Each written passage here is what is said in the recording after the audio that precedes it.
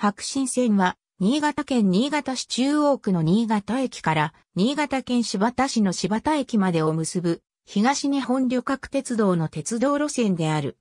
全線 JR 東日本新潟支社の管轄である。旅客案内におけるラインカラーはピンクである。全線が旅客営業規則の定める大都市近郊区間の新潟近郊区間及び IC 乗車カード、スイカの新潟エリアに含まれている。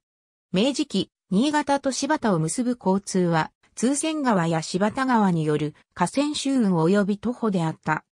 そうした中、現在の県道3号沿いを通る経路で、沼水から柴田を経て、赤谷に至る電鉄路線及びその支線として、木崎、くずつか間の軌道の計画がなされたことがあったが、実現はしなかった。1927年には、改正鉄道敷設法別表第55号の2に、新潟県白山より、柴田に、至りる鉄道の規定が追加され、国主導で計画が始まる。当初計画では、新潟駅以西の区間については、越後線の白山駅から市内中心部を経由する新線が建設される予定だった。その後、新潟白山間については、新潟、関山を結んでいた新越本線の貨物支線を使用して開通させることとなり、白山駅はこの貨物線上に移設され、1951年に越後線の延伸区間として旅客営業を開始した。路線名が白新線であるのは白山駅を起点としていた先の当初計画に由来している。上沼水信号場新潟間は新越本線と共用しており、この区間は複々線となっている。1958年までは沼水経由で新潟駅に至っていたため、当初の終点は沼水駅とされたが、新潟駅の移設に伴って終点が新潟に変更された。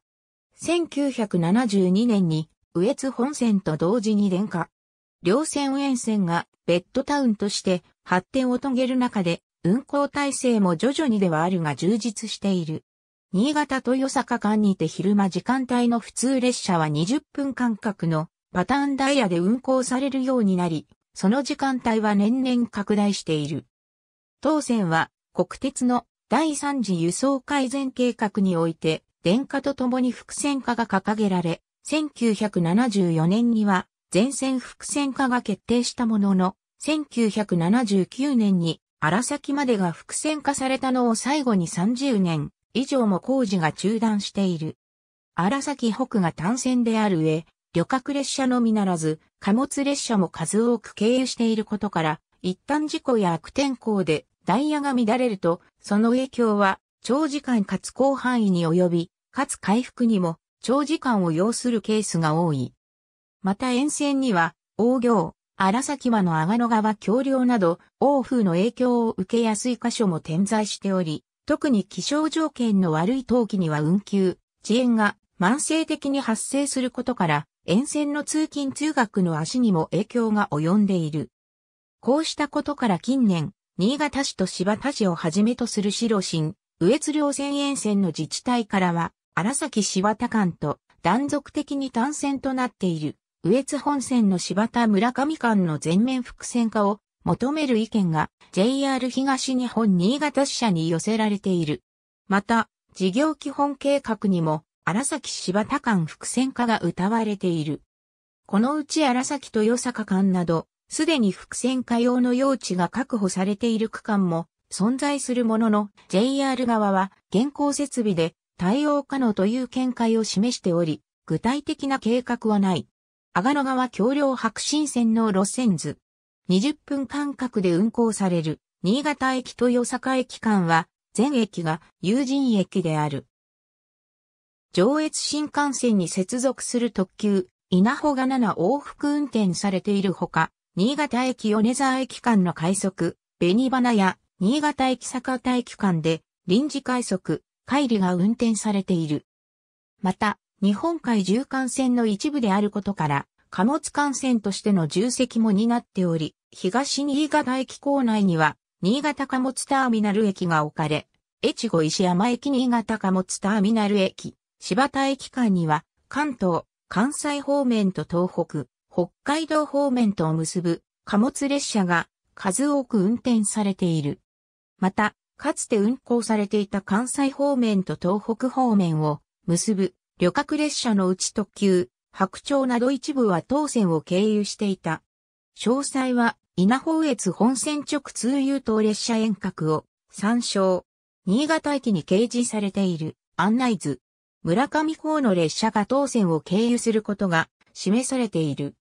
折り返し列車が多数設定されている豊坂駅普通列車については、上津本線の柴田駅、村上駅間とほぼ一体の運転系統として運行されている。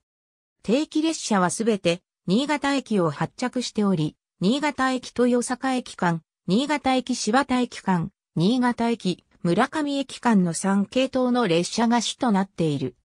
新潟駅豊坂駅間は、日中おおむね20分間隔のパターンダイヤ、豊坂駅柴田駅間は、約20から60分間隔で運行されている。朝夕を中心に、新潟駅から越後線や新越本線と直通する列車も存在する。2020年3月改正時点での運行車両2014年7月改正時点での運行車両快速、紅花と前運用の荒崎新潟間上り1本は、新越運輸所属の機動車、それ以外は、新潟車両センター所属の電車が使用される。E129 経営編成を使用する一部列車については、ワンマン運転が行われており、黒山駅、西柴田駅では、先頭車両の一番前のドアのみが出口となる。また、快速、紅花でもキハ110系、キハ E120 型への置き換え置きに2009年3月14日よりワンマン運転を実施しているが、新潟柴田坂町間の停車駅はすべて友人駅のため、この区間ではすべてのドアから乗降できる。2019年度の時点で JR 東日本自社による乗車人員集計の除外対象となる駅は黒山駅と西柴田駅である。ありがとうございます。